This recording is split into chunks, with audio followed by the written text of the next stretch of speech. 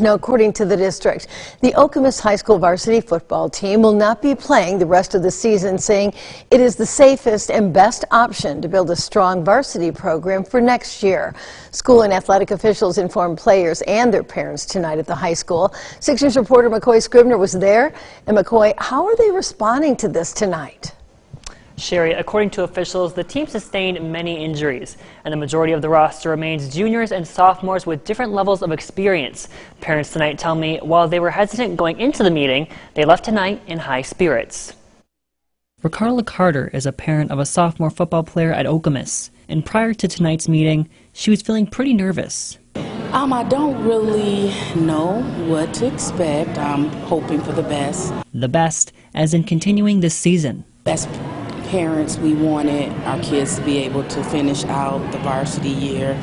And I'm hoping that that is what they're going to be telling us today. But right now, I'm just nervous about everything. But after the meeting, she says that nervousness turned into optimism. Um, I mean, there is some sadness because no, they can't continue on as varsity team, but mostly just excitement that even though that's not going to happen right now, in the next two years we're looking for our team to just do a whole lot better. Another parent says she's happy the district is focusing on the health of the students and turning their efforts to the JV team. I got support from the athletic department. I got reassurance from the um, football coach that the season will continue, and due to safety and numbers, uh, this is the best thing for us to continue to move forward for football. And the players seem to be on board too.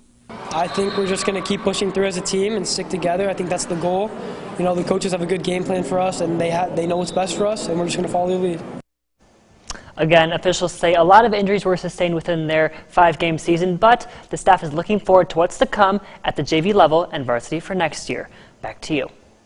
Thank you, McCoy. Well, our sports director, Audrey Duggan, was also there tonight. She joins us now. Audrey, I know you had the opportunity to speak with first-year coach F.A. Scott Amokafor. Well, how is he feeling about this decision? Yeah, well, the one thing that you need to know about F.A. Sherry is that he's always very even-keeled, and a mm -hmm. major reason why the parents and players walked out of the meeting at the high school tonight feeling pretty good about this decision is because of him and his mm -hmm. whole outlook on the situation. As McCoy pointed out earlier, Okemos is still going to be playing football this year, just not at the varsity level. So all of the juniors and sophomores who were on varsity still have four games to play, and they'll do so on Thursday nights. That's when all JV teams across the state play. As for the seniors, Okemos only had one left on the varsity team out of seven who had consistently played the sport throughout his high school career.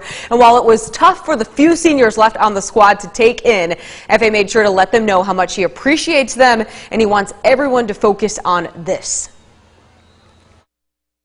I think that the fact that we're still playing is important. Um, you know, people from the outside might say, uh, you know, you're killing football. We're not by any means. Uh, this is an investment in the program, um, you know, to build it back up. And here's the other thing, too. It's mm -hmm. not mm-hmm. like the players weren't listening to him or the no. other coaches on the coaching right. staff. They just are inexperienced when it comes to certain things about the sport, fundamentals and techniques of the game, like blocking, tackling, mm -hmm. and in a sport like football. It's really not safe to be playing no. unless you know what you're doing. So that's crucial to success, and we're going to have much more about that in sports coming up later. All right, the safest and smartest decision yeah. for now. All yeah. right, thank you, Audrey. Talk to you then.